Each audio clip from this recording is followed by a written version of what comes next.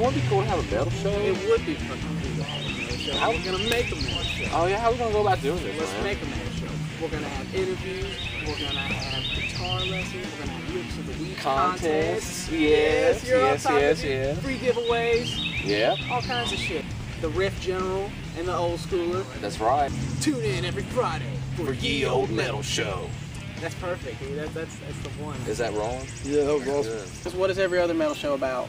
It's about the, you know, the stories and stuff, which we that's cool too, and we will touch on that. But they don't talk about the music. I want to make it more about the music than any other metal show.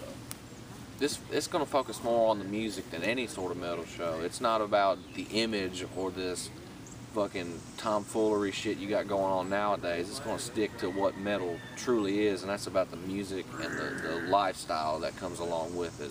It's gonna be like if the Big Show teamed up with the Undertaker to take on Sting and Eddie Guerrero.